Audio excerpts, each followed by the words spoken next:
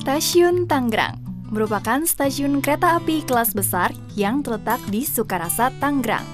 Stasiun ini letaknya paling ujung di jalur kereta api Tangerang Duri.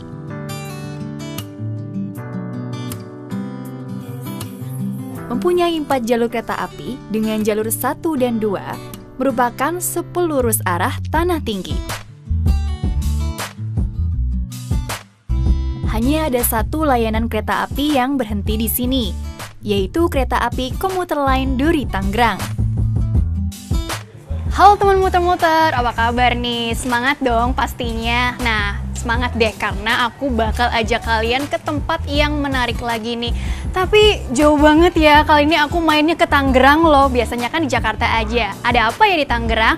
Kalau Jakarta kan punya pecinan glodok nih. Nah, kalau di Tangerang denger-dengar ada kawasan pecinan yang disebut dengan uh, Cina Benteng. Nah, penasaran seperti apa suasana di sana? Ikuti aku yuk muter-muter di episode kali ini.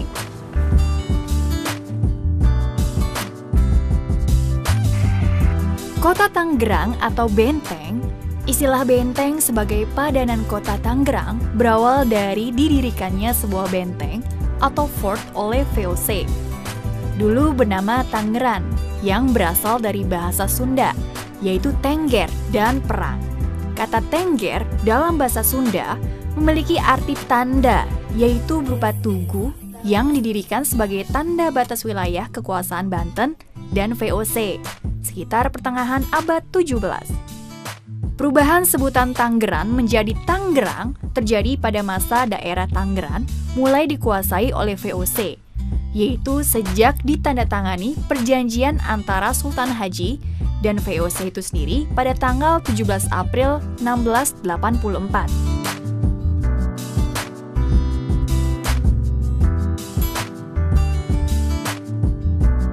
Tentara Kompeni yang berasal dari Makassar tidak mengenal huruf mati dan terbiasa menyebut Tangerang dengan Tangerang. Kesalahan ejaan dan dialek inilah yang kemudian diwariskan hingga kini. Tangerang dikenal sebagai pusat perekonomian yang dimanfaatkan oleh penjajah. Penduduknya datang dari beragam suku, mulai dari pedagang muslim yang berasal dari timur Indonesia hingga bangsa China yang bermukim di pinggir sungai Cisadane, yang kini dikenal sebagai Cina Benteng.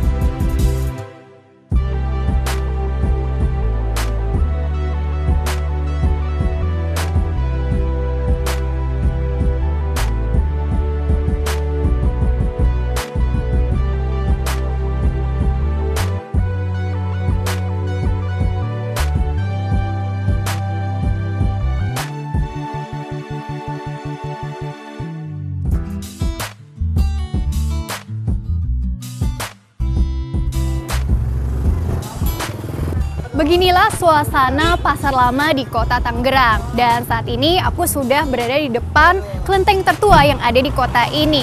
Seperti apa ya suasana pasar lama lebih jauh lagi? Di sini sudah ada pedagang lampion cantik untuk suasana Imlek nih. Dan seperti apa yang ada di sana suasananya? Mungkin ada kue-kue khas Imlek yang bisa kita telusuri lebih jauh lagi. Ikuti aku yuk muter-muter di episode kali ini.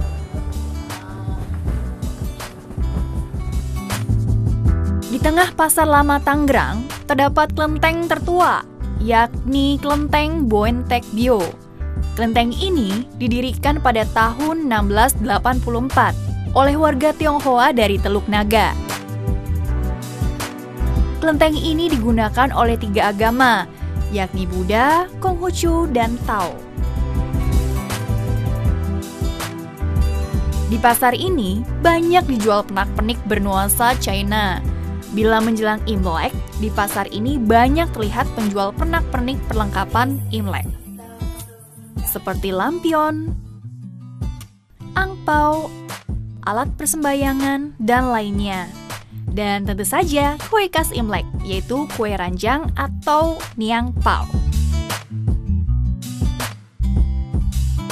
Mengenal tradisi Imlek bagi etnis Tionghoa tak jauh berbeda dengan perayaan Tahun Baru Masehi juga dengan tahun baru Hijriah bagi orang Islam. Imlek ialah tahun baru kalender bagi etnis Tionghoa. Aku jadi ingin tahu seperti apa tradisi Imlek bagi keturunan Tionghoa.